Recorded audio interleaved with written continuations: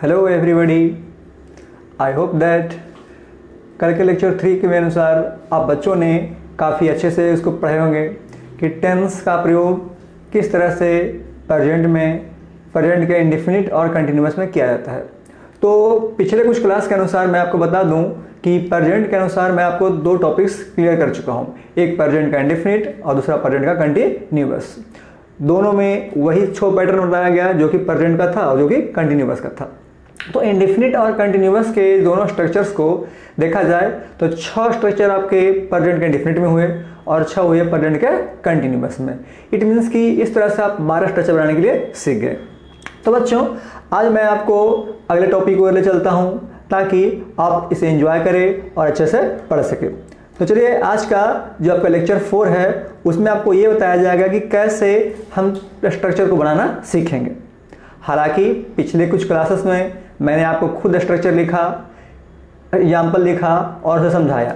तो चलिए I think अब मैं इतना कह सकता हूँ कि आप बच्चों ने अफर्मेटिव से नेगेटिव नेगेटिव से इंट्रोगेटिव इस तरह से स्टेप बाय स्टेप छह स्ट्रक्चर बनाने के लिए सीख गए होंगे। तो चलिए, इसके बाद भी मैं बताता हूँ कि इसका पैटर्न होता क्या है। तो अगर हम नंबर ए की बात करते हैं, जिसका नाम होता है अफर्मेटिव तो अफर्मेटिव में क्या है कि सब्जेक्ट को रखना है आगे। और यहाँ पर जो मैं आपको गैपिंग छोड़ रहा हूँ, ये डिपेंड करता है एक्जुलरी भर पे। जैसा टेंस रहेगा, उसके अनुसार ही यहाँ पर डालना है क्या? एक्जुलरी भर अगर सपोज़ दैट हम बात करते हैं प्रजेंट इंडिफिनिट का तो डूडे लग जाएगा कंटिन्यूस की बात करते हैं तो इजम आर लेकिन आज का जो टॉपिक मेरा है, वो रहेगा प्रजेंट परफेक्ट तो यहाँ पर जो आने वाला सहायक क्रिया है, वो कुछ और। साथ ही साथ, यहाँ पर आपको डालना है भर का फॉर्म जो आपको अलग अलग हो सकता है। वन टू थ्री फोर और फाइव और लास्ट में आपको लगाना होता है ऑब्जेक्ट और हम चाहें तो ओ डब्ल्यू का प्रयोग भी कर सकते हैं। तो आपने ए नंबर की सहायता से आप चाहें तो number B number C D E F भी सीख सकते हैं। तो इस तरह से बच्चों, आज का मेरा टॉपिक रहेगा आपके साथ प्रजेंट का परफेक्ट टेंस क्लियर तो पिछले दो क्लासेस में मैं आपको बता चुका था कि प्रजेंट इंडिफिनिट क्या है कंटिन्यूस क्या है। आज का टॉपिक है प्रजेंट का परफेक्ट परफेक्ट में कुछ खास बातें हैं जिसे हमें ध्यान देना होता है, जिसे मैं आगे बताता हूँ। तो चलिए, सबसे पहले हम शुरू करते हैं प्रजेंट परफेक्ट के आइडेंटिफिकेशन की ओर। प्रजेंट परफेक्ट का आइडेंटिफिकेशन क्या होता है, उसका पहचान क्या होता है, कैसे हम पहचानेंगे कि वह क्वेश्चन प्रजेंट परफेक्ट का है। तो चलिए, यहाँ पर मैं आपको बता दे रहा हूँ कि अगर किसी सेंटेंस में, जिसके हिंदी के लास्ट में चुका है, या कह सकते हैं, चुकी है या कह सकते हैं, चुके हैं, या फिर मैं बोल सकता हूँ कि चुका हूँ। हालाँकि इसके अलावे हम सेंटेंस में या है, या फिर ई है, ए है, या हूँ का प्रयोग भी कर सकते हैं। तो यहाँ थोड़ा समझिए आप हिंदी ग्रामर के अनुसार। जनरली आपने जूनियर क्लास में हिंदी में पढ़ा होगा कि क, जब क को हम तोड़ते हैं, उसका संधि विच्छेद करते हैं तो अध क प्लस अ होता है। तो लास्ट का उच्चारण क्या निकला? अ। उसी तरह से मैं अगर बोलता हूँ चुका मीन्स लास्ट का आता है या। तो चुका है को हम या है बोल सकते हैं, चुकी है को ई है बोल सकते हैं, या चुके हैं को ए है बोल सकते हैं। लेकिन जनरली आपका जो पहचान रहेगा, वो रहेगा चुका है, चुकी है, चुके हैं। हालाँकि हम चुका है, चुकी है, चुके हैं के बदले या है, ई है, ए है का प्रयोग भी कर सकते हैं। क्लियर अब इसको समझने का एक तरीका और है, जो मैं आपको पिछले दो क्लासों से बताता रहा हूँ। कि चलिए हम, मैं बात करता हूँ प्रजेंट का। तो मैं बता चुका हूँ कि केवल प्रजेंट का हम अगर बेसिक आइडेंटिफिकेशन की बात करते हैं तो इसका होता है। दूसरा हो सकता है हो, और तीसरा हो सकता है हैं, और चौथा जो आपका है हूँ। तो ये सिर्फ़ आपका प्रजेंट का हुआ बेसिक लेकिन फ़िलहाल जो मेरा टॉपिक पढ़ना है, वो क्या पढ़ना है? परफेक्ट तो अगर हम परफेक्ट की बात करते हैं तो इसका पहचान चुका या फिर चूकी या फिर चूके। साथ में या, ए, ई भी हो सकते हैं। तो चलिए अब हम कंबाइन करते हैं प्रजेंट को परफेक्ट के साथ। तो अगर हम कंबाइन करते हैं प्रजेंट को परफेक्ट के साथ तो होता है प्रजेंट का परफेक्ट उसी तरह से अगर हम हिंदी में कंबाइन करेंगे तो क्या बन जाएगा बच्चों? चुका है, चुकी है, चुके हैं। या फिर, या है, ए है, ई है। तो यहाँ से हम कंफर्म सीख गए कि प्रेजेंट परफेक्ट का जो पहचान होता है, वो दो तरह का हो सकता है। चुका है, चुकी है, चुके हैं, और नहीं तो या है, ए है ए है। अब हम बात करते हैं सेंटेंस के पैटर्न का। जो दिया गया आपका पैटर्न ऑफ़ सेंटेंसेज जो कि मैं पिछले क्लास से चर्चा करते आ रहा हूँ कि हर टेंस में आपको वही छः स्ट्रक्चर्स पढ़ने हैं, वही छः नाम पढ़ने हैं, लेकिन हर किसी में स्ट्रक्चर्स में एक्जुलरी भर्व और भर का फॉर्म अलग होता है। मैं चर्चा फिर से कर दूँ कि अगर हम लगाते हैं डू डज तो हमेशा भी वन। अगर लगाते हैं ई तो हमेशा वी फोर। लेकिन आज का टॉपिक है, वो है हैज़ और हैव। तो हैज़, हैव के साथ ऑलवेज भी थ्री, जिसकी चर्चा मैं आगे डिटेल्स में करता हूँ। तो सबसे पहले आपका दिया गया है नंबर ए, जिसका नाम होता है अफर्मेटिव सेंटेंस जिसको मैं पॉजिटिव या असर्टिव या डिक्लेरेटिव भी कह सकता हूँ। तो चलिए सबसे पहले दिया गया है आपका सब्जेक्ट और मैं बार बार बता रहा हूँ कि जब भी कोई सहायक क्रिया यानी एक्चुअली भर अप्लाई किया जाता है तो according to the given subject subject आपके दो तरह के होते हैं, ये मैं चर्चा कर चुका हूँ। तो यहाँ पर सब्जेक्ट के बाद दिया गया है आपका हैज़ और नहीं तो दिया गया है हालाँकि हैज़ हैव के साथ आप चाहें तो भर का तीसरा फॉर्म यहाँ पर यूज़ कर सकते हैं, साथ में ऑब्जेक्ट है और अदर बर्ड है। तो यहाँ पर हमें बच्चों यह सीखना है कि हैज़ हैव के साथ भीतरी लगता है। तो भीतरी है क्या? How can be make V three. जैसे मैं बता चुका था कि अगर भी वन में जोड़ते हैं एस, ई, एस तो बनता है क्या? भी फाइव। अगर हम भी वन में जोड़ते हैं आई, एन, जी, जिसे हम जेरंड या प्रेजेंट पार्टिसिपल कहते हैं तो क्या बनता है? भी फोर। उसी तरह से आज के क्लास में हम चर्चा सीखेंगे कि भी वन में कौन सा ऐसा मीनिंग है, कौन सा ऐसा लास्ट टर्म है जिसको जोड़ने से भी थ्री बनता है। क्लियर तो चलिए पहले बात करते हैं स्ट्रक्चर्स का। कि दिया गया है subject plus has you have plus भित्री plus object plus other but चलिए कुछ एग्ज़ाम्पल से इसे समझा जाए कि कैसे कैसे अप्लाई करना होता है। तो आपको यहाँ पर जो दिया गया है एग्जाम्पल्स उसमें एग्ज़ाम्पल में सबसे पहले आपको दिया गया है कि they have solve this problem they have solve this problem तो देखिए, यहाँ पर आपको मैं समझा दूँ कि यहाँ पर जो आपका वर्ड दिया गया है कि they have solve this problem तो यहाँ पर आपका दे है, वो कैसा सब्जेक्ट है? तो इसकी चर्चा मैं कर चुका हूँ, आप सीख चुके हैं कि दे एक पुलर है। तो चलिए पहले हम यहाँ पर ये समझें कि कैसे हैज़ को अप्लाई करना होता है और कैसे हैव को अप्लाई करना पड़ता है। तो एक छोटा सा नोट्स दिया गया है, जिसके माध्यम से आप क्लियरली समझ सकते हो कि कहाँ पर लगाना है हैज़ कहाँ पर लगाना है नोट नंबर वन हैज़ और हैव हैज़ और हैव के साथ ऑलवेज भी थ्री यानी हमेशा भर्व का तीसरा रूप ही अप्लाई करना होता है। हैज़ है तो भी भित्री, हैव है तो भी भित्री। चलिए नंबर दो देखते हैं यहाँ पर, जिस स्ट्रक्चर की मैं बात कर रहा था। तो चाहे तो इस स्ट्रक्चर को आप अपने नोटबुक पे नोट कर सकते हैं कि अगर किसी भीवन में, ठीक ना, अगर किसी भीवन में डी हो ईडी हो ईएन हो और टी हो, लगा रहे तो ऐसे स्ट्रक्चर्स को क्या बोलते हैं? भी थ्री का फॉर्म या उल्टे शब्द में ऐसे कह सकते हैं कि भी बनाने के लिए अगर भी के लास्ट में डी टी ई एन ऐसे शब्दों को जोड़ा जाए तो भी का फॉर्म होता है। हालाँकि अकॉर्डिंग टू एक्सेप्शंस कुछ ऐसे भी भी थ्री फॉर्म होते हैं जिसमें इन सभी स्ट्रक्चर्स का प्रयोग नहीं किया जाता है, जो कि अलग से बनाया जाता है। तो आपको ऐसे ऐसे भर बहुत से मिलेंगे जिसमें कि टी ई एन डी का प्रयोग नहीं होता है, फिर भी वो भी थ्री कहलाता है। एक चीज़ और जानकारी दे दूँ कि जितने भी भर फॉर्म्स है, उसमें से कुछ ऐसे भर फॉर्म्स है जिसका भी टू भी थ्री सेम होता है। क्लियरली भी टू भी थ्री सेम होता है। लेकिन हमें यह आइडेंटिफाई करना होता है कि कौन सा स्ट्रक्चर में, कौन से बुक्स में कहाँ पर भी टू यूज़ किया गया है, कहाँ भी थ्री यूज़ किया गया है। जैसे मान लो बात करते हैं प्लेड का।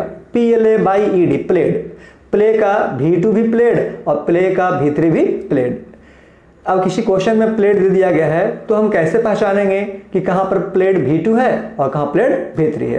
तो इसकी चर्चा मैं करता हूँ। चलिए, फ़िलहाल समझिए आप यहाँ पर ये कि अगर हम V1 में जोड़ते हैं डी जैसे अभी हम बताया कि V1 में डी चलिए आप एग्ज़ाम्पल समझें कि अगर मान लिया जाए क्वेश्चन है play this is V1 but अगर हम जोड़ते हैं इसमें ईडी तो आपका जो फॉर्मेशन हो गया, ये क्या बन गया? ये बन गया आपका प्लेट अब समझिए प्लेट जो है आपका भी टू भी हो सकता है और भी थ्री भी हो सकता है।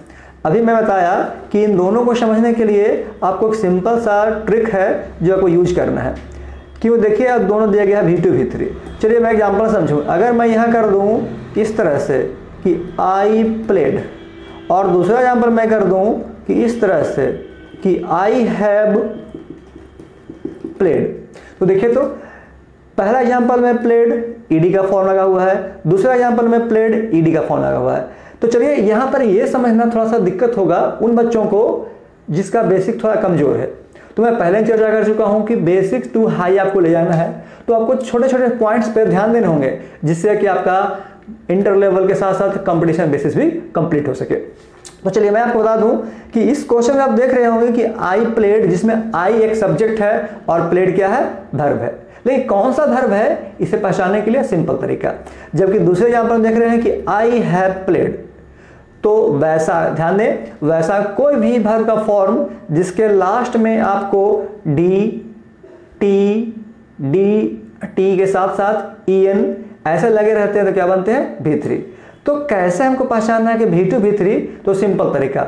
अगर इस स्ट्रक्चर के साथ, ठीक ना? अगर इस स्ट्रक्चर के साथ उसके ठीक पहले हैज़ या हैव, लगा हो, या कोई और सहायक क्रिया लगा हो तो ऐसे फॉर्म को बोलते हैं भी थ्री और अगर कोई भी थ्री का फॉर्म जो देखने में भी थ्री लगे और उसके ठीक पहले कोई सहायक क्रिया नहीं हो तो वैसे क्या बोलते हैं? भी टू जैसा कि आप एग्ज़ाम्पल देख सकते हैं यहाँ पर कि आई पहला एग्ज़ाम्पल में देखें कि आई के बाद बीच में किसी तरह कोई सहायक क्रिया नहीं है। इट मीन्स कि यहाँ पर जो आपका दिया गया है प्लेड वो किस रूप में है? भी टू में।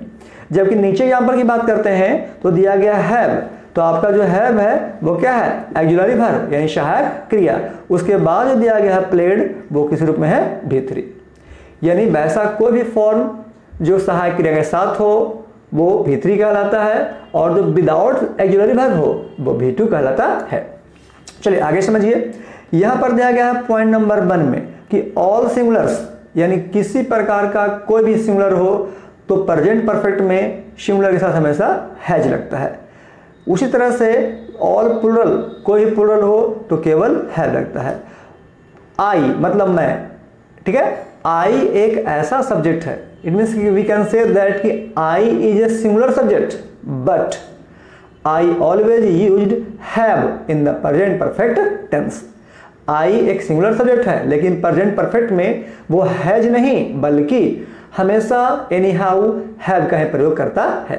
तो चलिए यहाँ से हम सीख लिए कि जितना भी सिंगुलर रहेगा सब में हैज़ लगाना है, जितना प्लुरल सब में हैव लगाना है। और उस तरह से देखा जाए तो इसको फॉलो करें तो हैज़ हैव के साथ ऑलवेज भी थ्री यानी हमेशा जो है भर्व के तीसरे फॉर्म का प्रयोग करना होता है। अब हम बातें हैं एग्जाम्पल्स की ओर, जो भी ऊपर आपके स्क्रीन पे लिखा गया है। दे हैव दे प्लुरल हो गया, उसके अनुसार हैव तो यहाँ पर जो आपका दिया गया है शोल्ड देखो तो सोल्व हल करना, जो कि भी वन है, उसके लास्ट में क्या लगा दिया डी जिसको हम ईडी भी कर सकते हैं। यानी यहाँ पर जो आपका दिया गया सोल्ड किस रूप में आ गया? बेहतरी क्यों बच्चों? क्योंकि यहाँ पर आपका जो दिया गया है हैव एक एक्जुलरी वर्ब है। नंबर टू ही हैज़ मैंने बताया कि एनी सिंगुलर ही आपका सिंगुलर है तो क्या लग गया? हैज़ और हैज़ के अनुसार यहाँ लग गया क्या? कॉल्ड यानी बुलाया, पुकारा। यू यानी ही हैज़ कॉल्ड यू उसने तुम्हें पुकारा है या पुकार चुका है। क्लियरली चलिए हम आगे चर्चा करते हैं। नंबर फोर चलिए थोड़ा बैक मारते हैं। यहाँ पर यह देखते हैं कि प्रजेंट परफेक्ट तो बच्चों, मैंने आपको प्रजेंट इंडिफिनिट और प्रजेंट कंटिन्यूस के अनुसार प्रत्येक का छ छ structure means affirmative negative interrogative इस तरह से आपको छह स्ट्रक्चर बनाने के लिए सिखा दिया। आई होप दैट आप बच्चे इंजॉय करके घर में प्रैक्टिस किए होंगे? कि कैसे अफर्मेटिव से नेगेटिव बनता है नेगेटिव से अफर्मेटिव ये बनता है। या फिर इंटोवेटिव बना सकते हैं, या डब्ल्यू बना सकते हैं। तो मैं फिर से रिपीट कर दूँ कि इस पैटर्न को, कि कैसे अफर्मेटिव से नेगेटिव नेगेटिव से इंटोवेटिव इस पैटर्न को क्लियरली समझना बच्चों बहुत आसान है। क्योंकि निगेटिव की बात करते हैं तो हमेशा एक्जुलरी वर्ब के बाद आपने क्या देखा? नॉट देखा। इंटोगेटिव की बात करते हैं तो जो सहायक क्रिया सब्जेक्ट के बाद था, उसे पहले लाया गया। जब हम डबल इंट्रोवेटिव प्लस निगेटिव की बात करते हैं तो आपका जो स्ट्रक्चर नंबर सी है इंट्रोवेटिव उसमें क्या लगा देना है? नॉट उसी तरह से आपका इंट्रोवेटिव इसके बाद? इंट्रोवेटिव प्लस निगेटिव बनता है। डब्ल्यू एच जिसके बारे में बता चुका हूँ कि डब्ल्यू एच बनाने के लिए सिंपल तरीका कि इंट्रोवेटिव ठीक आगे क्या लगा देना बच्चों? डब्ल्यू एच बर्ड्स तो इस तरह से मैंने आपको सारा चीज़ बता दिया। तो यहाँ पर आपके स्क्रीन में मैंने सिर्फ़ प्रेजेंट परफेक्ट का आज अफर्मेटिव दिया है।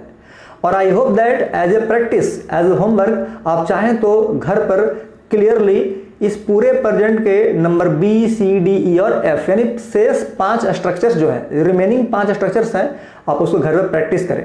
हाँ इन केस अगर आपको दिक्कत होता है तो चाहे तो कमेंट बॉक्स में कमेंट करके प्रॉब्लम पूछ सकते हैं, या चाहें तो फिर मेरे कॉल पर कॉल करके पूछ सकते हैं। तो चलिए इस तरह से मैं अगला टॉपिक चलता हूँ, जिसका नंबर दिया गया है प्रजेंट का परफेक्ट कंटिन्यूबस जो कि प्रजेंट का लास्ट टॉपिक है। मैं शुरू में बताया था कि हर टेंस का चार पार्ट मैंने पहला शुरू किया पढ़ाने के लिए कौन? प्रजेंट इंडेफिनिट टेंस तो प्रजेंट इंडेफिनिट का number one present indefinite number two continuous number three perfect और last number four present perfect continuous tense तो बच्चों, मैंने ही जस्ट चर्चा किया प्रजेंट के परफेक्ट के बारे में। और कल के लेक्चर थ्री में मैंने ये बताया था कि कंटिन्यूस के बारे में। तो कंटिन्यूस का कुछ क्रिटेरिया और आज के परफेक्ट का क्रिटेरिया अगर दोनों को मर्ज करते हैं, दोनों को जोड़ दिया जाता है तो क्या बनता है? प्रेजेंट परफेक्ट कंटिन्यूस टेंस तो ज़ाहिर सी बात है कि जब नाम आ रहा है परफेक्ट और नाम आ रहा है कंटिन्यूस तो कुछ ना कुछ टॉपिक्स कुछ ना कुछ स्ट्रक्चर कंटिन्यूस का लिया जाए और कुछ परफेक्ट का लिया जाए। तो क्या बन जाएगा? परफेक्ट कंटिन्यूस तो चलिए यहाँ पर हम चर्चा करते हैं सबसे पहले कि प्रेजेंट परफेक्ट कंटिन्यूस है क्या? तो उसके लिए हमें पहले पहचानना पड़ेगा आइडेंटिफिकेशन क्योंकि मैं बार बार बोल रहा हूँ कि आइडेंटिफिकेशन से होते हैं, बहुत ज़रूरी होते हैं। अगर एग्ज़ाम में आपको कुछ हिंदी का क्वेश्चन दे दिया जाए और दे दिया जाए ऑप्शन में या हेडिंग में कि चेंज इनटू इंग्लिश या डू इनटू इंग्लिश तो अगर मान कंसेप्टली सारे क्वेश्चन आपको मिला के दिया गया है और ये बनाना है कि ट्रांसलेट करना है। तो आप कैसे आइडेंटिफाई करोगे? How to we identify any problem कि this is the present tense past tense और फ्यूचर टेंस प्रेजेंट में चार पास्ट में चार फ्यूचर में चार. इट मीन ट्वेल्व स्ट्रक्चर्स तो ट्वेल्व स्ट्रक्चर जो टेंस है, उसमें कैसे हम पहचान करेंगे? तो सबसे पहले आपको देखना होगा आइडेंटिफिकेशन यानी पहचान. यानी एनी हाउ आपको पहचानना होगा कि वो प्रेजेंट का है, किस पार्ट का है पास्ट किस पार्ट का है, और फ्यूचर का किस पार्ट का है. तो आई होप बच्चों की आपने प्रेजेंट का इंडिफिनिट का ताहे तीहते हैं। कंटिन्यूस का रहा है, रही है, रहे हैं। परफेक्ट का चुका है, चुकी है, चुके हैं, या फिर या है, ए है, ई है। और लास्ट टॉपिक जो कि प्रेजेंट का लास्ट है प्रेजेंट परफेक्ट कंटिन्यूस टेंस जिसे क्या कहते हैं? कि चुका नहीं, बल्कि ता रहा है, ती रही है, ते रहे हैं, ता रहा हूँ। और चलिए, मैं कंटिन्यूस की चर्चा कर चुका था पहले भी कि कंटिन्यूस में रेगुलरिटी लगातार की बात करते हैं तो उसके अनुसार जो आज का आइडेंटिफिकेशन है प्रजेंट परफेक्ट कंटिन्यूस वो आपका हो जाएगा, ता रहा है। या कह सकते हैं, ती रही है। या कह सकते हैं, ते रहे हैं। तो देखिए तो यहाँ पर जो आपका रहा रही रहे हैं, वो किसको शो करता है? कंटिन्यूस को। लेकिन ऐसा मत समझिएगा इसमें कि चुका चुके चुकी भी लग जाएगा। क्योंकि कंटिन्यूस का मतलब होता है रेगुलर लगातार। अब मैं कंटिन्यूस की बात करता हूँ एक परफेक्ट कंटिन्यूस की बात करता हूँ तो, तो अंतर क्या है? जिसको मैं क्लियरली आगे के चैप्टर्स में जो कि आगे का टॉपिक है टाइम एंड डेस्ट जिसमें टाइम को जोड़ा जाएगा तो क्लियरली समझा दूँगा। ये फ़िलहाल समझे कि कंटिन्यूस मतलब होता है लगातार। तो इसमें क्या है कि कोई काम अभी शुरू हुआ और कुछ समय तक जारी रहा। दैट इज़ कॉल्ड कंटिन्यूस जैसे मैं खेल रहा हूँ अभी खेलना शुरू हुआ, कुछ समय तक और खेलता रहूँगा। लेकिन वैसा कोई काम जो बहुत पहले या पुराने समय में शुरू हुआ था, वो काम बिना खत्म हुए, ठीक है, बिना खत्म हुए अभी भी जारी है। जैसे मैं कह दूँगा कि मेरे पिताजी 10 वर्षों से इस विद्यालय में पढ़ाते आ रहे हैं या पढ़ाते रहे हैं। तो देखिए तो 10 वर्षों से तो यहाँ पर 10 वर्ष से वो अभी शुरू नहीं हुआ, बल्कि पिछले समय में शुरू हो चुका था। और पढ़ाने काम खत्म नहीं हुआ, बल्कि 10 वर्ष से अभी भी चलता आ रहा है और आगे की ओर जाएगा। वो समझे क्लियरली कि कंटिन्यूस में कोई काम शुरू होता है और कुछ समय तक आगे चलता रहता है, लेकिन परफेक्ट कंटिन्यूस में लंबे समय से काम चलता आ रहा है और आगे लंबे समय तक चलता रहेगा। तो क्या हो गया कि इसका पहचान कि ता रहा है, ती रही है, ते रहे हैं, या ता रहा हूँ भी कह सकते हैं और इन सभी के साथ हमको ऐड करना पड़ता है समय, यानी टाइम यानी कह सकते हैं क्लियरली कि जिस हिंदी क्रिया के अंत में ता रहा है, ती रही है, ते रहे हैं और प्लस समय का प्रयोग रहे तो ऐसे वाक्यों को क्या कहते हैं? Present perfect continuous tense clear चलिए इसको ऐसे आप समझ सकते हैं कि मान लिया जाए मेरे पिताजी दस वर्षों से इस विद्यालय में पढ़ाते आ रहे हैं। तो काम शुरू हुआ दस वर्ष पहले और काम अभी भी जारी है। तो क्या रहा है? पढ़ाते आ रहे हैं। मतलब ते आ रहे हैं या ती आ रही है या ते आ रहे हैं। बात रहा समय का तो कितना है? दस वर्षों से। अब इसमें अगर आपका दिया गया टॉपिक सेंटेंसेस के बारे में पढ़ना। पैटर्न ऑफ़ सेंटेंस जिसकी चर्चा मैं पिछले तीन टेंसों में कर चुका हूँ। तो सबसे पहला जो आपका दिया गया टॉपिक है, वो है फॉर्मेटिव सेंटेंस यानी पॉजिटिव या असर्टिव या डिक्लेरेटिव भी कर सकते हैं। तो देखिए, सबसे पहले दिया गया आपका सब्जेक्ट और मैं बताया अभी पिछले टेंस में कि सब्जेक्ट के अनुसार या तो हैज़ का प्रयोग करते हैं, या इसी के अनुसार हैव का प्रयोग करते हैं। तो अगर दिया गया सब्जेक्ट इट मीन्स कि if the given subject is singular then we use has been and if the given sentence is plural then we use have been अब समझे यहाँ पर बारीकी कि जब हम प्रेजेंट परफेक्ट की चर्चा किए तो सिर्फ़ हैज़ और हैव लगा। और हैज़ हैव के साथ हमेशा क्या लगता है? भर्व का तीसरा फॉर्म लेकिन यहाँ से कंटिन्यूस की बात करते हैं। कौन सा? परफेक्ट कंटिन्यूस तो हैज़ हैव के साथ आपको एक मीनिंग लगाना पड़ता है। एक मीनिंग जोड़ना पड़ता है। जिसे बोलते हैं been B double E N been जो कि कंटिन्यूस को शो करता है। कंटिन्यूस को बताता है। इट मीन्स कि इसको हम ऐसे बोल सकते हैं, हैज़ या हैव प्लस बिन। और नहीं तो हैज़ बिन या हैव बिन। दोनों एक ही बात है। ध्यान रहे, हैज़ हैव के साथ हमेशा भित्री, जबकि हैज़ बिन या हैव बिन के साथ हमेशा भी फोर। यानी आईएनजी फॉर्म जिसके बारे में पहले ही बता चुका हूँ। उसे देखिए इसका स्ट्रक्चर अब, कि पहले दिया गया आपका सब्जेक्ट फिर दिया गया हैज़ या हैव, अब प्लस बिन। हम चाहें तो इसको डायरेक्टली हैज़ बिन या हैव बिन भी लिख सकते हैं। प्लस भी फोर इट मीन्स कि बी फोर जिसके बारे में बता, बता, चुका हूँ कि कौन सा फॉर्म है? आईएनजी फॉर्म है और प्लस ऑब्जेक्ट साथ ही साथ इस पैटर्न में एक टाइम दिया गया है। तो टाइम क्या है? तो वैसा टाइम जो दो तरह का होते हैं जिसके बारे में आगे मैं बताता हूँ। तो आपने देखा कि कोई भी सहायक क्रिया जब यूज़ करते हैं तो अकॉर्डिंग टू दियर सब्जेक्ट ठीक उसी तरह से आपका जो यहाँ पर दिया गया क्या है? टाइम ये टाइम के अनुसार आपके दो चीज़ लगाना है। या तो आपको लगाना है फॉर और नहीं तो आपको लगाना है सिंस सिंस क्या होता है? फॉर क्या होता है? इसे मैं बताता हूँ, लेकिन फ़िलहाल आप स्ट्रक्चर समझें। तो क्या होगा स्ट्रक्चर कि पहले सब्जेक्ट और सब्जेक्ट के अनुसार हैज़ बिन या हैव बिन अब plus before plus object plus since या फॉर प्लस टाइम अब यहाँ पर एक छोटा सा पॉइंट आप याद रखें कि अक्सर बहुत से बच्चे क्वेश्चन में टाइम देखें कि सुबह से, पाँच वर्षों से, एक महीनों से तो क्या समझते हैं कि क्वेश्चन किसका है? प्रेजेंट परफेक्ट कंटिन्यूस टेंस का जो कि सही है। लेकिन कुछ ऐसे बच्चे भी होते हैं जो सोचते हैं क्या कि टाइम नहीं अगर दिया गया है तो वो क्वेश्चन क्या है? किसी और पैटर्न का हो सकता है। बट ये कोई ज़रूरी नहीं है कि प्रेजेंट परफेक्ट कंटिन्यूस के प्रत्येक क्वेश्चन में आपको टाइम दिया गया ही हो। आई होप दैट अगर टाइम दिया गया है तो कंफर्म है कि वो किसका है? प्रेजेंट परफेक्ट कंटिन्यूस टेंस का। लेकिन अगर टाइम नहीं दिया गया है तो हमको उसको बेसिक आइडेंटिफिकेशन जो मैंने क्या लिखा? ता रहा है ती रही है ते रहे हैं। इसके माध्यम से भी समझना होगा कि वह किसका है? तो प्रेजेंट परफेक्ट कंटिन्यूस का। जैसे समझे। अगर हम बोलते हैं कि मैं सुबह से खेलता रहा हूँ, इस क्वेश्चन में सुबह से क्या है? टाइम है। तो क्लियरली पता चल रहा है कि वो किसका है? प्रेजेंट परफेक्ट कंटिन्यूस का। लेकिन मैं उसे ऐसे बोल दूँ कि मैं खेलता रहा हूँ अंतर यही है कि उसमें समय नहीं दिया गया है। लेकिन आप पहचान देखें कि मैं सुबह से खेलता रहा हूँ तो क्या आया? ता रहा हूँ। और मैं खेलता रहा हूँ तो इसमें क्या आया? ता रहा हूँ। तो समय रहे अथवा ना रहे, इसे क्या समझना है? प्रेजेंट परफेक्ट कंटिन्यूस हाँ अंतर इतना आएगा कि अगर टाइम दिया गया है तो हमें स्ट्रक्चर में सिंस फॉर को ऐड करना होगा। तो कहाँ सेंस कहाँ फॉर वो आगे चर्चा करेंगे। और अगर क्वेश्चन में समय नहीं दिया गया है तो ऑब्जेक्ट तक बना करके हम क्वेश्चन को छोड़ सकते हैं। क्लियरली चलिए, कुछ एग्ज़ाम्पल से समझा जाए।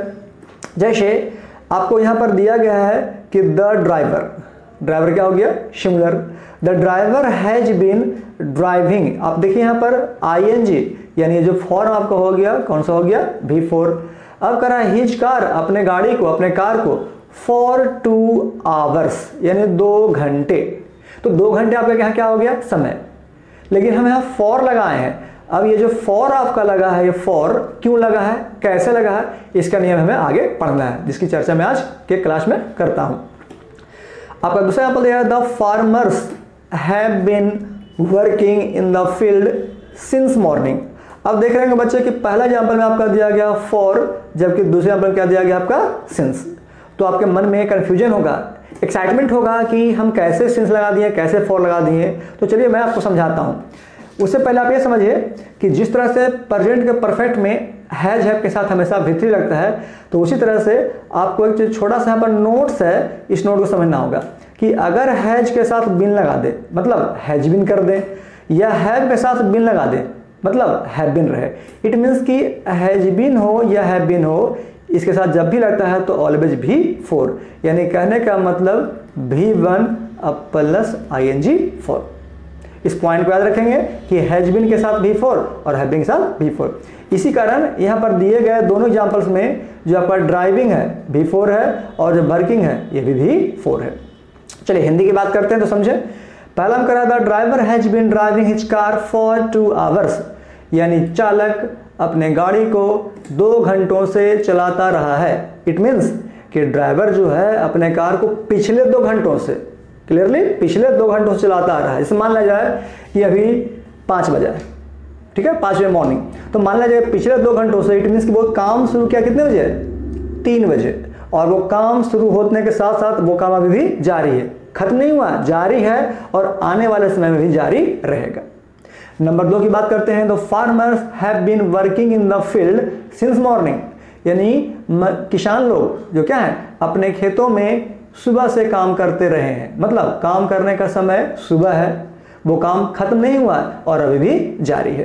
तो इस तरह से क्या देखें कि प्रजेंट परफेक्ट कंटिन्यूस में कोई काम पहले शुरू होता है, जो बिना खत्म हुए प्रजेंट टाइम में जारी रहता है। चलिए इसके साथ हम आगे बढ़ते हैं और अभी मैंने बताया कि जैसे हैज़ है, जब भी अप्लाई करते हैं तो according to time sorry according to subject उसी तरह से अभी मैंने यहाँ पर चर्चा किया कि स्ट्रक्चर में कि सिंस फॉर प्लस टाइम तो टाइम मतलब समय, हर को जानते हैं.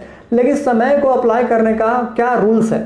कौन सा स्ट्रक्चर्स है, कौन सा पैटर्न है, ये समझना ज़रूरी होता है. जो कि आपको आगे कंपटीशन एग्ज़ाम में भी काफ़ी काम देगा. तो चलिए मैं इसको क्लियरली समझाता हूँ बिल्कुल ईजी वे में. आप इंजॉय करें और इसको आराम से समझें. यहाँ पर आपका दिया गया स्क्रीन पे कि नोट नोट का मतलब होता है कुछ खास बातें। तो ऐसे ऐसे नोट्स मैं हर चैप्टर में आपको बताता रहूँगा। तो आई थिंक आप करें क्या कि घर पे अपना जो नोट्सबुक है, जो कॉपी है, जो डायरी है, उस पर नोट्स को क्लियरली आप लिखें। और लिखने के बाद उसको घर पर रिवीजन करें। क्योंकि यही नोट्स जो है, आपको कॉम्पिटिटिव एग्ज़ाम में जो कॉमन ईयर होता है, उसको सोल्व करने में काफ़ी हेल्प करेगा। ना सिर्फ़ कॉमन ईयर के लिए, बल्कि अपने नॉलेज को भी आगे बढ़ाएगा। आपके नॉलेज के साथ साथ आपका जो स्पोकन स्किल्स है, उसे बेहतर करेगा। तो चलिए आप समझिए कि यहाँ पर दिया गया है नोट्स जिसमें दिया गया है टाइप्स ऑफ़ टाइम यानी समय के प्रकार, समय के भेद। तो समय कितने तरह के होते हैं? समय के प्रकार क्या होते हैं? तो यहाँ पर आपको दिया गया स्क्रीन पे कि देर आर टू मतलब दो। यानी समय जो आपको होते हैं, वो दो तरह के होते हैं। और उसी के अनुसार इस क्वेश्चन में समय को अप्लाई करना होता है।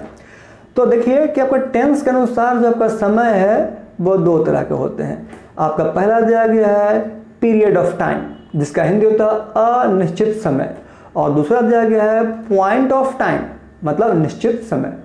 तो यहाँ पर आप देख रहे हैं बच्चे कि जो समय होते हैं, वो कंसिस्टेंटली दो तरह के होते हैं। कुछ कुछ क्वेश्चन में आपको समय जो मिलेंगे, वो क्या रहेंगे? निश्चित। जिसे क्या बोलेंगे? पॉइंट ऑफ़ टाइम और कुछ ऐसे भी क्वेश्चंस रहेंगे जिसमें क्वेश्चन का जो समय रहेगा, वो क्या रहेगा? अनिश्चित। तो क्या बोलेंगे उसे? Period of time okay I repeat it time दो तरह के। इट मीन्स कि there are two types of time number one point of time means definite time and number two period of time it means indefinite time और उसी के अनुसार हमको यह लगाना पड़ता है कि कहाँ पर सेंस है कहाँ पर फॉर तो चलिए मैं आपको एक यहाँ पर डायग्राम के अनुसार समझाता हूँ, जो इजली वे में है, आप समझ लीजिएगा कि टेंस के अनुसार पहला का क्या हो गया? पीरियड ऑफ़ टाइम मतलब अनिश्चित समय। तो अनिश्चित समय को हम इंडेफिनिट टाइम भी शो कर सकते हैं। और इंडेफिनिट टाइम को शो करने के लिए हम जब भी लगाते हैं तो केवल फॉर का प्रयोग कर सकते हैं, ना कि सिंस का। जबकि दूसरे पार्ट की हम बात अगर करते हैं तो दूसरे पार्ट में आपका क्या दिया गया है? Point of time point of time जिसे क्या बोलते हैं? डेफिनिट टाइम यानी निश्चित समय। तो निश्चित के लिए क्या लगेगा? सिंस यानी सिंपल भाषा में बोल सकते हैं कि निश्चित समय को व्यक्त करने के लिए सिंस का प्रयोग, जिसे हम पॉइंट ऑफ़ टाइम भी कर सकते हैं। और अनिश्चित समय को बताने के लिए फॉर का प्रयोग, जिसे हम पीरियड ऑफ़ टाइम भी कर सकते हैं। क्लियर अब सवाल रहा कि ये फॉर और सिंस इन दोनों का हिंदी क्या होता है? तो चलिए समझ लीजिए, इन दोनों का जो हिंदी होता है, वो होता है से। फॉर का भी हिंदी से और सिंस का भी हिंदी से। जैसे मैं सुबह से पढ़ता रहा हूँ। सुबह से से क्या आ गया? सिंस के रूप में। मैं दो घंटों से पढ़ता रहा हूँ। टू आवर्स तो फॉर फॉर क्या लग गया? से का हिंदी हो गया। तो फॉर का भी हिंदी यहाँ पर क्या हो गया? से। और सिंस का भी हिंदी क्या हो गया? से। इट मीन्स दोनों का हिंदी से। But the use of since और फॉर आर वेरी डिफरेंट तो कैसे जरा समझें? तो चलिए हम पहले चर्चा करते हैं फॉर के बारे में कि फॉर कैसे लगाया जा सकता है। तो आपको यहाँ पर दिया गया है डेज़, मंथ्स ईयर्स जबकि आप इस पैटर्न में देखें, जो आपका दिया गया है पॉइंट ऑफ़ टाइम में तो क्या है? Name of days, name of months, name of years ETC तो दोनों में आप क्या देख रहे हैं कि जो अनिश्चित समय है मतलब जिसमें फॉर लगाना है पीरियड ऑफ़ टाइम का पार्ट है, उसमें सिर्फ़ दिया गया डेज़, मंथ, ईयर या सम भी रह सकता है, मिनी भी रह सकता है, मोर भी रह सकता है, इस तरह का पैटर्न। तो ये सारे टॉपिक से हमें ये चलता पता कि समय क्या है, अनिश्चित। जबकि उन दिनों का नाम शो कर देंगे। उन दिनों का नाम के साथ साथ महीनों का नाम वर्ष का नाम, किसी घटना का नाम, किसी स्टेज मतलब अवस्था का नाम, या फिर कोई टाइम जो कि 24 फोर आवर्स का होता है। जैसे मान लें सुबह पाँच बजे से सुबह, रात सुबह पाँच बजे से फिर अगले सुबह पाँच बजे तक। तो इसके बीच में आपका सुबह है, दोपहर है, आधी रात है, शाम है, ये क्या हो गया? आपको 24 आवर्स के बीच का टाइमिंग हो गया। और समझे फिर से कि मैंने यहाँ बताया कि पहले यूज़ करना हमको फॉर का। तो फॉर के लिए आपको ध्यान देना पड़ेगा, क्या? जो दिया गया है डेज़ सिर्फ़ डेज़ ना कि नेम ऑफ़ डेज़ फिर दिया गया है मंथ्स फिर दिया गया ईयर्स इसके साथ साथ हम चाहें तो आपका रह सकता है सम या फिर हो सकता है आपका मेनी तो ध्यान दें कि डेज़ मंथ ईयर इसके साथ न्यूमेरल यानी कोई अंक रह भी सकता है और नहीं भी। यानी इसको हम ऑब्लिक में भी लिख सकते हैं। यानी दिन के साथ समय लगा रहे, कौन सा समय? नंबर के रूप में, वन, टू, थ्री, फोर और फाइव। इस तरह से कोई नंबर ग्रुप में।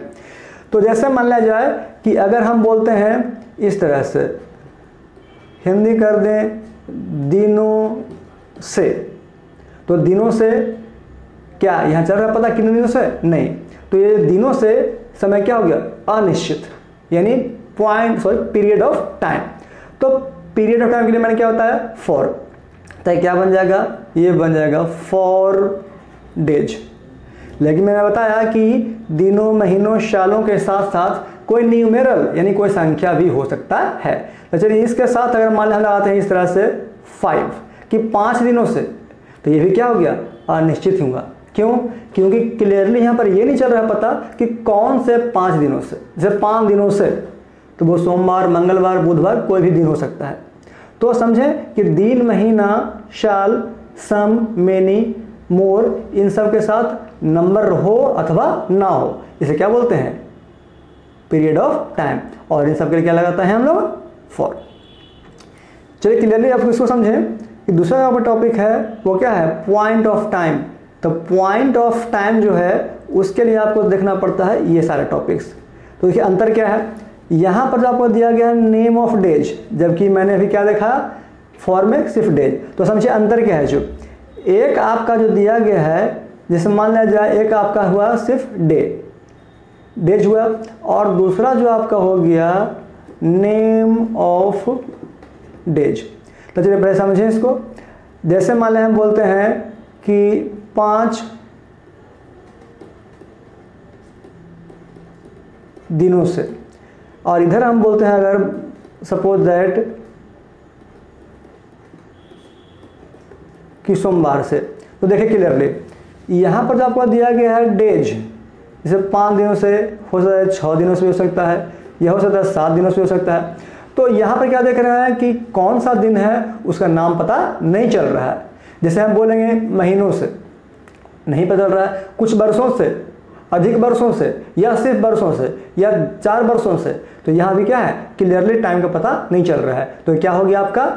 पीरियड ऑफ़ टाइम तो इसके बनाने के लिए क्या करेंगे? कि जो से है, उसका मीनिंग हमको यहाँ पर अप्लाई करना पड़ेगा क्या? फॉर अगर संख्या यहाँ पर सात दिया गया है तो यहाँ पर हम चाहे क्या करेंगे सेवन और डेज़ पुलरल में है तो डेज़ लेकिन अगर हम इधर बात करते हैं सोमवार से तो यहाँ पर हमको समय निश्चित दिया गया है कि कौन से दिन से? सोमवार से। उसी तरह से आपको हम बात करते हैं सप्ताह का। या बात करते हैं महीना का, या बात करते हैं वर्ष का। जैसे हम कर देंगे कि उन्नीस सौ बयालीस ईस्वी से, एक बोल देंगे कि वर्षों से। तो तो उन्नीस सौ बयालीस, यहाँ पर नाम शो कर रहा है, और वर्षों से नाम शो नहीं कर रहा है। सोमवार से नाम बता रहा है, लेकिन दिनों से नाम नहीं पता चल रहा है। अगर कर दें हम कि जनवरी से, एक बोल रहे हैं महीनों से तो ये तो अगर महीनों से बोलेंगे तो अनिश्चित है तो फॉर लगाना होगा। जनवरी से बोल देंगे तो निश्चित है तो सिंस लगाना होगा।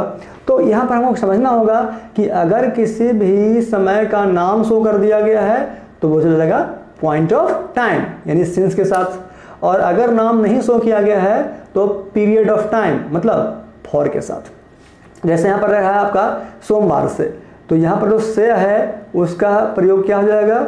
उसके लिए हम लिखेंगे सिंस अब बच रहा सोमवार से तो इसको मंडे भी हम कर सकते हैं। तो समझें कि name of days months years 24 four hour यानी सुबह से लेकर रात तक का बीच का कोई भी टाइम या कोई इवेंट जैसे बोलते हैं फ़र्स्ट वर्ल्ड वार प्रथम विश्व युद्ध। क्या है? एक इवेंट है। तो यहाँ पर क्या लगाएँगे? Since the first world war stage की बात करते हैं। जैसे कोई क्वेश्चन रहता है कि वह बचपन से ईमानदार रहा है। तो बचपन से, ये क्या है? हमारे लाइफ का एक स्टेज है तो क्या हो जाएगा? सिंस चाइल्डहुड तो इन सारे पैटर्न्स के साथ आपको लगाना है क्या? इसके साथ आपको लगाना है सिंस और जिसमें समय शो ना करे, यानी अनिश्चित रहे तो क्या लगाना है? फॉर हालाँकि इन सब के साथ हम चाहें तो पिछला भी लगा सकते जैसे मान लिया पिछले सोमवार से तो क्या होगा? सिंस लास्ट मंडे पिछले फरवरी से तो सिंस लास्ट फरवरी, इस तरह से प्रयोग भी कर सकते हैं। तो आई थिंक आपने समय के बारे में अच्छे से जान लिया, समझ लिया, फिर भी ये प्रैक्टिस की चीज़ होती है। क्योंकि एक एग्ज़ाम्पल है ना कहते हैं ना कहावत कि practice makes a man perfect आप जब तक तो प्रैक्टिस नहीं करोगे, आप परफेक्ट नहीं बन पाओगे।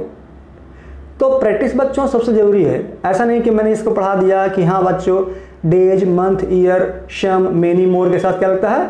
फॉर हो सकता है उसमें कुछ ऐसे रहे कि पिछले कुछ महीनों से। तो इसके साथ भी फॉर ही लगेगा, क्योंकि हमारा समय निश्चित नहीं है। लेकिन हाँ अगर ये कर देगा कि पिछले जनवरी से, पिछले उन्नीस सौ बयालीस से, पिछले 2018 से तो यहाँ पर आपको सेंस लगाना होगा। तो इसमें प्रैक्टिस की बात यह है कि आप घर पे, आपके पास जो बुक्स अवेलेबल हो, आप कुछ क्वेश्चंस निकालें, ठीक ना? प्रजेंट परफेक्ट कंटिन्यूस टेंस का कुछ क्वेश्चंस निकालें, उसे डील करें। उसे बना के देखें कि कौन से क्वेश्चन में पॉइंट ऑफ़ टाइम लग रहा है या पीरियड ऑफ़ टाइम लग रहा है। इन केस अगर दिक्कत हो तो आप आप मुझे कमेंट करें, मेरे नंबर पर कॉल करें। तो इस तरह से हम देखते हैं कि कुछ एग्ज़ाम्पल समझें कि कैसे कैसे है। जैसे मान लिया जाए कि आपको मैं समझाता हूँ फॉर का एग्ज़ाम्पल तो फॉर जो कि आपका हो गया पीरियड ऑफ़ टाइम और सिंस जो कि आपका हो गया पॉइंट ऑफ़ टाइम तो चलिए यहाँ पर आप समझिए पहले फॉर का। तो फॉर का जो एग्ज़ाम्पल है, उसके लिए आपको करना होगा जैसे मान लिया कर देंगे कि चार घंटों से। अब यहाँ पर सिर्फ़ घंटों रहे या कोई न्यूमेरल रहे, कोई फ़र्क नहीं पड़ता है। तो यहाँ पर चार घंटों से आपका समय पता नहीं चल रहा है कि कितने घंटे पहले या कितने बजे से। तो यहाँ जो बनेगा, वो क्या बन जाएगा? आपको करना पड़ेगा फॉर फिर चार के लिए आप चाहें तो रोमन डिजिट या फिर नॉर्मल डिजिट या F O U R four भी लिख सकते हैं। और घंटों से तो घंटे क्या देख रहे हैं कि आपका पुलरल है तो आवर्स अब यहाँ घंटा रहे मिनट रहे सेकंड रहे, ठीक है याद रखें कि अभी मैंने आपको बताया पीछे कि डेज़ मंथ ईयर ठीक ना? डेज़ मंथ ईयर शम हो या मेनी हो, लेकिन हम चाहें तो वहाँ पर मिनट सेकंड आवर्स का प्रयोग भी कर सकते हैं। तो मिनट सेकंड आवर अगर रहता है तो भी क्या करते हैं हम, किसका प्रयोग करते हैं? तो भी हम प्रयोग करते हैं फॉर का। तो फॉर एक ऐसा टॉपिक है जिसके माध्यम से हम ये समझेंगे कि कहाँ कहाँ पर लग सकता है। तो ध्यान दें बच्चों कि घंटों या कह सकते हैं कि सपोज़ दैट क्वेश्चन में रह गया मिनट या फिर रह गया सेकेंड और इन सब के साथ अगर यहाँ पर कोई टाइम से वन है टू है थ्री है डॉट डॉट डॉट इस तरह से अगर लगाते हैं तो किसको प्रयोग करेंगे? केवल फॉर का। जबकि हम समझे ज़रा सिंस के बारे में कि सिंस क्या कहता है। तो सिंस के बारे में जानकारी लेने के लिए समझें। जैसे उधर मैंने लिखा कि मिनट से। अब हम यहाँ पर कर देंगे कि बचपन से। ठीक है? बचपन से। तो यहाँ पर आपको जो लगाना होगा, वो करना होगा सिंस चाइल्ड हुड तो यहाँ देख रहे हैं क्या कि बचपन से सिंस चाइल्डहुड जवानी से सिंस यूथ बुढ़ापा से सिंस ओल्ड एज पंद्रह अगस्त से ये सब क्या है? तो जिसमें क्लियरली टाइम का पता रहे, उसके साथ हमेशा और एनी हाउ आप सिंस का प्रयोग करेंगे। लेकिन मैं फिर बताता हूँ कि practice makes a man perfect बिना प्रैक्टिस के आपके कुछ होने वाले नहीं हैं। मैं कितनों समझा दूँ, कितनों पढ़ा दूँ, लेकिन जब तक प्रैक्टिस नहीं कीजिएगा, आपको अपना कॉन्सेप्ट क्लियर नहीं होगा। तो चलिए, आपको यहाँ पर स्क्रीन पर दिख रहा है as example one two three four five examples होने का बहुत सोच सकते हैं, लेकिन मैं चाहता हूँ कि बच्चों, आप खुद एक होमवर्क हालाँकि ऑफलाइन क्लासेस में होमवर्क दिया जाता है। यहाँ क्लासेस आपका ऑनलाइन है। तो मैं तो देखने तो नहीं आऊँगा किन बच्चों को कि हाँ कौन सा बच्चे ने प्रैक्टिस किया, कौन सा बच्चे ने होमवर्क बनाया, या क्या प्रॉब्लम है, नहीं प्रॉब्लम है। बट ऑनेस्टली आप अगर ईमानदारी पूर्वक अपने होमवर्क को पूरा करते हैं। तो मैं मुझे बहुत खुशी होगी कि नहीं मेरे बच्चों ने कुछ प्रैक्टिस किया। हाँ एक बार में सफलता नहीं मिलेगी, एक बार आप सीख नहीं पाओगे। तो मैं आपके लिए हूँ। आप चाहें तो इस क्लियरली समझ को समझ सकते हैं। तो यहाँ पर आपको ये समझना है कि कैसे सेंस का प्रयोग, कैसे फॉर का प्रयोग। तो बच्चों, आज मैंने आपको दो टेंस पढ़ाया। एक हुआ आपका number three present perfect tense जिसमें चुका है, चुकी है, चुके हैं। जिसके साथ हैज़ हैव का प्रयोग करते हैं, साथ में बेहतरी अप्लाई करते हैं। नंबर चार प्रजेंट परफेक्ट कंटिन्यूस टेंस जिसमें कंटिन्यूसली किसी काम को किया जाता है जो शुरू होता है पहले और लंबे समय तक जारी रहता है। तो इसमें क्या देखें हैज़ बिन या हैव बिन के साथ क्या लगता है भी फोर लेकिन इसमें टाइम हमको पढ़ना पड़ा, जिसके लिए हम सिंस और फॉर का प्रयोग भी किए।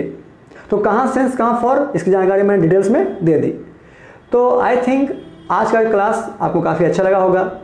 लेकिन आज मैं पूरा स्ट्रक्चर नहीं लिखा, क्योंकि वो आपके लिए होमवर्क समझिए। जिस तरह से आपको होता है ना ऑफलाइन क्लास में होमवर्क तो ऑनलाइन क्लास में आप समझ लीजिए कि प्रजेंट परफेक्ट का आपका पाँच structures B C D E F उसी तरह से प्रजेंट परफेक्ट कंटिन्यूस का भी पाँच structure B C D E F आप घर पे पूरा करें। मैं चाहता हूँ कि ये दस स्ट्रक्चर को कंप्लीट करें। जैसे, आपको शुरू के टेंस में मैंने आपको छह स्ट्रक्चर बताया। मैंने खुद बताया स्ट्रक्चर लिख दिया एग्ज़ाम्पल दिया। तो अब मैं चाहता हूँ कि आप as a practice as a homework इसे आप पूरा करें। घर पे लिखे कि प्रजेंट परफेक्ट का या प्रजेंट परफेक्ट कंटिन्यूस का निगेटिव क्या होता है? कैसे बनता है? इंट्रोवेटिव कैसे बनता है? चलिए मैं आपको थोड़ा सा हिंट देता हूँ। आपको प्रजेंट परफेक्ट कंटिन्यूस में हैज़ बिन और हैव बिन आया है। तो बिन जो है आपका एक्स्ट्रा पार्ट है, जबकि हैज़ और हैव जो है आपका मेन एक्जुलरी वर्ब है। तो जब इंट्रोवेटिव की बात करना हो तो हैज़ हैव को बाहर निकालेंगे बिन अंदर ही रह जाएगा। निगेटिव की बात हो तो हैज़ के बाद नोट लगाएँगे, फिर बिन को पीछे कर देंगे। उसी तरह से हैज़ हैव को हम आगे लेके चलेंगे और बाकी शाम का सारा काम पीछे करेंगे। तो चलो बच्चों आई होप दैट आज का क्लास आपने काफ़ी इंजॉय किया है। लेकिन अभी भी कुछ ऐसे बच्चे हैं जो मेरे इस चैनल को सब्सक्राइब नहीं किए हैं तो प्लीज़ मेरे चैनल को सब्सक्राइब करें लाइक करें और शेयर करें। अगर कुछ दिक्कत होता है, कुछ प्रॉब्लम्स होता है कि कोई टॉपिक समझ नहीं आया, कोई स्ट्रक्चर नहीं आया, कोई एग्ज़ाम्पल नहीं आया तो आप मेरे नंबर पे कॉल कर सकते हैं या नीचे कमेंट बॉक्स में अपना कमेंट शो कर सकते हैं, जिसका रिप्लाई आपको 24 फोर आवर्स के दौरान ही मिल जाएगा। तो कल के क्लास में कुछ नया चीज़ होने वाला है, क्योंकि आपका प्रेजेंट खत्म हो चुका, आपका आने वाला है पास्ट और फ्यूचर टेंस। तो पास्ट में क्या है, फ्यूचर में क्या है, आपको एक्साइटमेंट लग रहा होगा। लग रहा होगा सर मुझे जल्दी बता दीजिए कि पास्ट क्या होता है, फ्यूचर क्या होता है।